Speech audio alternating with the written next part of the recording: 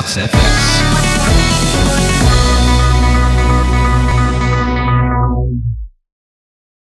Hello there. This is Shal, and welcome to the second video in my two-part mini-series on basic vocal recording and mixing. This is a basic guide to producing vocal recordings, designed for people who are new to the world of making audio, or for those who are on a strict budget. In my last video, I discussed the equipment and software needed for recording, how to set it up, and how to record and import audio. If you haven't already seen that video, please go do so. Today, I'll be returning to Audacity to show you how you can improve your audio quality after you've made your recordings. So let's get started. Audio editing. So you've just recorded your first audio, and you're fairly happy with the result. My favorite kinds of pizza toppings are pepperoni, sausage, but as you can see in here, it's not amazing. There's quite a few gaps and pauses in the audio. It's pretty quiet. The volume levels aren't very consistent.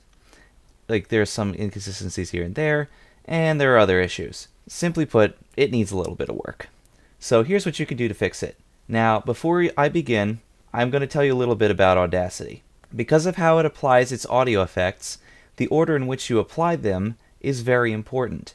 Further, if you make a mistake in one of these steps, you have to undo all your work and restart from the point where you left off. So basically, if you have applied three effects, say a compressor, an EQ, and a limiter, just as an example, and you wanted to change the compressor, you would have to undo the EQ and the limiter in order for you to be able to go back and edit the compressor. Indeed, you would have to undo all three of them. So make sure you're happy with the changes you've made before moving on to the next step. Also, remember to save your project often, as Audacity is prone to crashing, especially when working with large audio files. So let's begin. We have our file here. The first thing we want to do is normalize the audio. As I mentioned in the previous video, you'll want to have recorded at a lower volume level to avoid clipping distortion, but this leaves you with quiet audio. Normalization fixes this issue by turning up the audio file's volume until the loudest point, I believe that would be about here, reaches a given value. First, you want to select all your audio. An easy way to do this is with Control A, and then you go into Effect, you go down to Normalization. Normalize, right here. You can just leave the defaults as they are right now. You really don't need to mess around with them. So you push OK, and voila, your audio is now magically a lot louder. Next, you can see that this increase in volume also added it made a lot more background noise visible. You can't hear it all that well, but it is there, and if you're going to be applying additional effects later on, this background noise could cause problems. So it's a good idea to remove it. To remove background noise, you highlight an area of just noise using the selection tool here.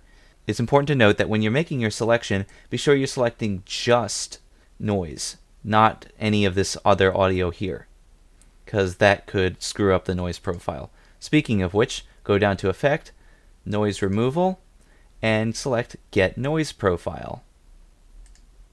This captures a, the frequency information of the selected audio and uses it to create uses it to inform the noise removal tool. Then you select everything again using Control A. You go down to noise removal again, and then you use this section down here.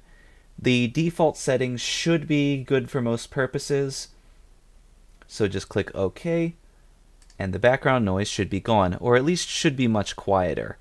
As you can see, there isn't a whole lot of noise anymore. Now we'll work on editing the audio file itself to get rid of any unwanted noises, bad takes, and slip-ups. So you use the selection tool to highlight the region of audio that you want to remove. Then click the Cut button, this button here, or just push the Delete key. I'll use the Cut button for this example.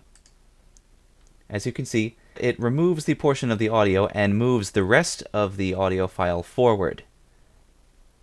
This can be useful. However, you, it's not applicable to all situations. Here's an example of me using the delete key. But let's say we wanted to keep this space here and we wanted to remove this sound here. Instead of using the cut button, you would use the silence audio button up here. Voila, now it is quiet. So you would continue going through the entire audio file and cutting using the uh, the cut using the cut button and the silence audio button to clean up your file, remove long areas of silence, bits of the audio you don't want, etc., etc. This can take a while, but it makes a huge difference in how professional you sound. Okay, so we'll delete that bit. Now that our audio is cropped down to size and edited the way we want, we will clean up the actual tone of the audio signal using an equalizer. In the Effects menu, select Equalization. And this gives you a blank equalizer. From the Select Curve drop-down menu, you choose 100 Hz rumble. Then, put a small minus 3 dB dip at around 400 Hz. To add points, you just simply click on the line, and then you add you click, and that adds a point, adds a control point, and you click down here to produce the, your dip. Now, you some audio may sound better with the dip being at 500 hertz or 300 hertz. Play around with it and use the preview button to see whether it sounds good to you. I'm just going to leave it as is for now and press OK. This change should remove any low pitched rumbles or thumps and will clean up any sort of low end muddiness in your audio. So let's give it a listen just to see where we're at. My favorite kinds of pizza toppings are pepperoni, sausage, and bacon. Sounds pretty good so far. Next, we'll deal with any uneven volume levels in the file. As you can see in the example, some words are a bit quieter than others.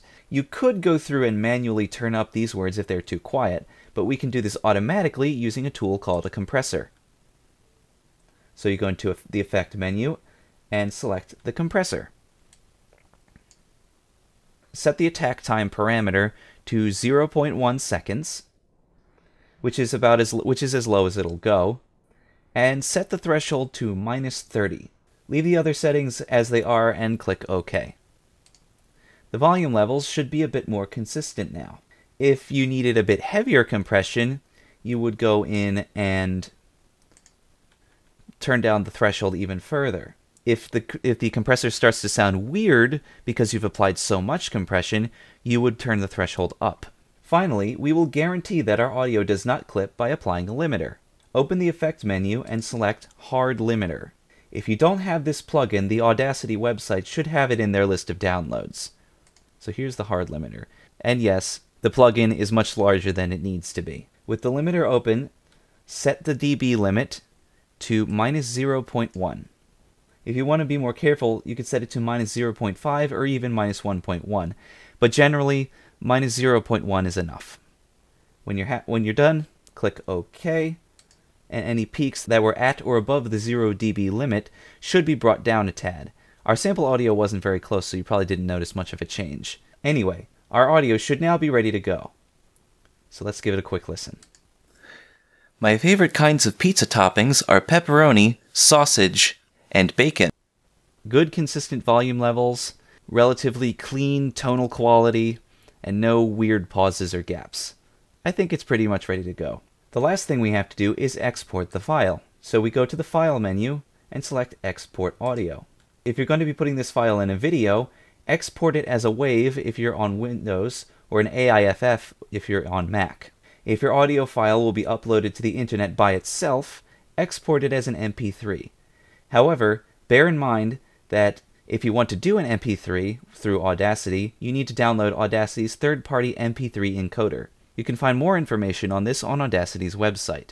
Additional considerations. I've just shown you a basic template for how to clean up audio and make it sound halfway decent. But I'll say this right now. It won't be perfect. The instructions in this video will probably only give good results some of the time for certain applications. Why? Simple.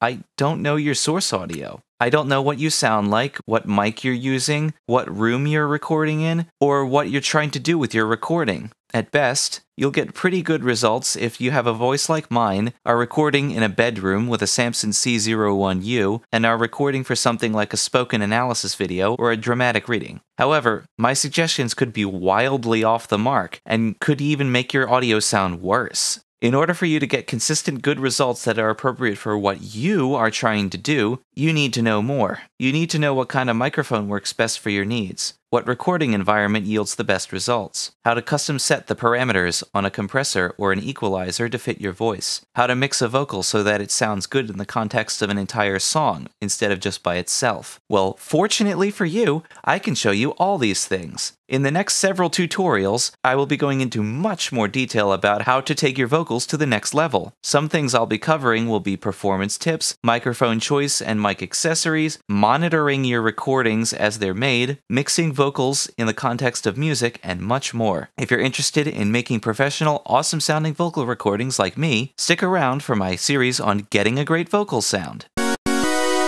Anyway, that about wraps up this mini series on basic vocal recording and mixing. If you liked what you heard, please like, share, and subscribe. If you have any questions about what I've talked about here, comment below. I'm always open for questions. And if you want to request a VoxFX tutorial, please send me a message. Remember, if it's talky, I can talk about it. In the next tutorial, I'll discuss the number one rule of vocal performance. Until then, have fun and keep making sound. Vox FX.